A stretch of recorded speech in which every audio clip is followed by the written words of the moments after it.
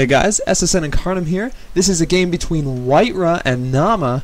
I have a new intro for you, and it goes a little something like this.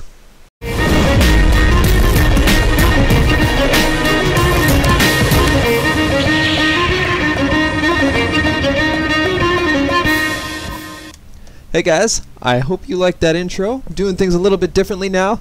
Um, I'm going to start partway into the game to just make things move a little bit quicker. And I did bring you in right when the scouting started, right when anything started to go down. We see just a single opening racks for Virus Naama down in the bottom as the green Terran, and up in the top white, top white is Duckload Raw, or Right Rightwa. no, this is WhiteRa or also known as Duckload Raw as the Red Protoss up in the top right. This is a custom match, part of a tournament Black Dragon something or other. Guys, I don't know anything about it. If you do, please let me know.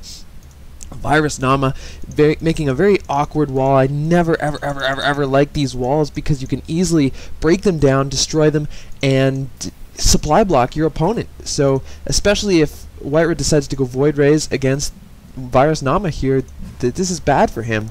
So getting two early Marines before getting the Tech Lab, so we might see Marauders out of him, we might see Reapers, who knows. I'm not going to speculate. Getting that Zealot out to defend against the Scout. you shouldn't lose a Scout to a Zealot, that's silly. Because um, a Zealot can be kite by workers all day long, so you can easily micro away from them. The Marine knows that a Zealot is out, so it will pull back. I guess he was testing the field, making sure that WhiteRa couldn't take this tower here, but, uh, so WhiteRa's going to push out with his first Zealot, see what he can do. Probably to chrono out a Stalker, yes. So this is the trademark Protoss early pressure that WhiteRa loves so much. Probably getting a, se a second Stalker very shortly. Oh, going for the Sentry instead, making me look silly. Is what what is WhiteRa going to do with that pylon? I can't even speculate. Not paying attention to his zealot, but there he goes. He grabs it now. And uh, he's going to push up the ramp. There's a bunker there now. So I guess he's just going to chill outside. But th at the very least, he'll probably poke up, see what's at the top of the ramp, because he currently doesn't know. But he's waiting for that stalker, because he can't do anything without it. So here he goes up the ramp. He sees there's a bunker and two supply depots. He knows he can't get in at all. Had the Terran player not walled, he would have lost both his Marines more than likely. But he is walled with that bunker, so he is safe. And there's the Reaper. I did speculate correctly. Gonna lose a sentry to the Reaper. That Reaper has already more than paid for itself. However, it is long overstayed its welcome at only 3 HP. Not going to be able to do any more damage. So probably just going to take the towers. But it's got to be very careful that it doesn't run into that Stalker. If it makes contact with the Zealot, the Zealot will kill it.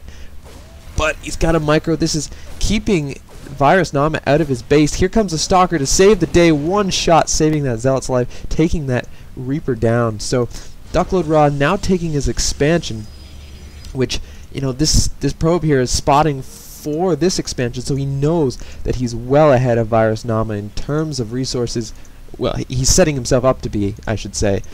Currently, he has to defend that dead spot because Virus Naama, because he's not expanding, he will be far ahead of WhiteRa in just military, getting that siege tank out already with siege tech on the way, getting Hellions, going to try and punish WhiteRa for taking that expansion, I can only imagine. Pushing out here, not even going to see the probe, which is funny to me, but he's going to see the Stalker on the watchtower, so the, the Stalker does know this is coming, although I hope White WhiteRa was watching the mini-map, he will know now that his Stalker pulled off the tower for something, and uh, WhiteRa is going to have to get in position to deal with that. If he loses any of these sentry to that Hellion, it's going to be a real pain in the ass, but he should be good. With force fields, he should be able to trap that Hellion somewhere. Putting a pylon here, I like that, because even Virus Naama won't know it's there. And uh, he, ooh, here comes Hellion. What's going to go down? That Hellion is not going to be able to push in. Does he have... I thought I... You know, he doesn't have the pre-igniter. Okay, so he only has Siege Tech. I find it odd that the little end flare glows blue even when it doesn't have igniter. But anyway, that Hellion goes down, and uh, Observer out for White. I like that early Observer, getting that before getting six gates. So he's on four gate Robo. Um, interesting build. Don't see that very often. I'd be curious as to whether he gets um, Robotech or he just sticks to Gateway. It looks like he's going to get some Gateway tech. Probably will be dropping more gates in the future. And uh, let me go down here to the Terran player, finally getting his Expo up, very quickly saturating it. Probably built it in his base. I didn't catch it. But he's got two bunkers up here with Siege Tech. That is an impenetrable second at the moment. White will have to get a lot more. And uh, we're going to see Banshees getting Cloak as well already got his engineering bay. Very strong play against Protoss. That'll protect him from Void Rays, ETs. Um, his and the observers, keep that in mind. The missile turrets are kind of oddly placed. He's got nothing here. Um, he does have one here, so that's good. But definitely not not much protection on the mineral line itself. So the interesting placement. I guess he wants to protect entry points from observers. So we're gonna see zealots. Uh, this is cool. Oh, okay, never mind. I thought he was gonna drop them here and break down the rocks so he could get more surface. But uh, uh, just gonna pick those up. This looks like it's gonna be a drop from WhiteRa. But the Banshee and the Warp Prism are gonna run into each other. This is funny to me. Uh, I wonder. WhiteRa is watching, and so was Virus Naama. So both players know that something is coming. So Virus Naama is going to come over here, and this drop is going to be completely nulled. And over here, Virus Naama is not going to do anything with that Banshee just yet. Microing this, WhiteRa knows that he sees him there, so he's not going to drop.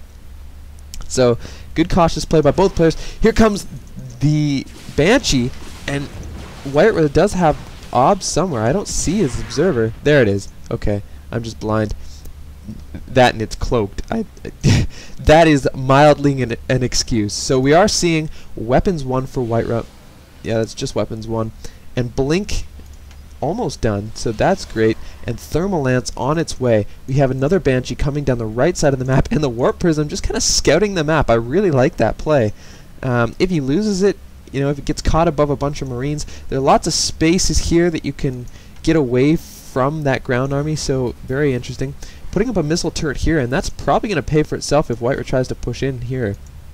Um, those supply depots are in a very interesting place. White will see it, We'll be able to drop some zealots here, but he's going to go straight for the line. The missile turret shooting at that warp prism, giving it away that it exists right away, and picking up those zealots, trying to get out of there, but the Marines might get it.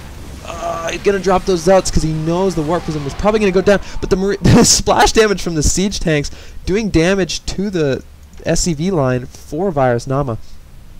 And uh, WhiteRa pushing down here quickly. I'm not sure what his plan is for these stalkers, they're not going to be able to do much with all those bio and siege tanks down there. Bringing his obs as well, I really hope the obs doesn't get sniped by that missile turret. But once again, uh, supply depot placement for Virus Naama is very inviting for supply block. And I've been saying that from the start. I don't understand the choices. But here comes the army. Good spotting by WhiteRa with the observer. And blinks down to the low ground to get it away. Does lose his observer. It was detected by the missile turret. And it was able to be sniped.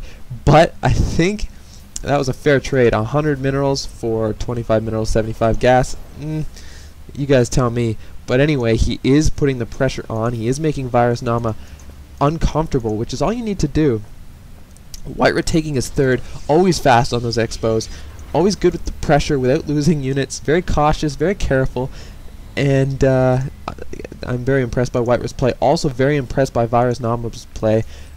You know, warding warding all of WhiteRa's little pokes and prods, spotting that warp prism with his Banshee play. I mean, Banshees are great harass, but they make great scouts, and that's what we've seen here still keeping up with the Banshees, and using them to just scout the midground. And like I said with the Warp Prism, there's tons of places to avoid Stalkers. However, the Stalkers do now have Blink, and that could pose a problem for Virus Naama if his um, Banshees ever get caught at a position.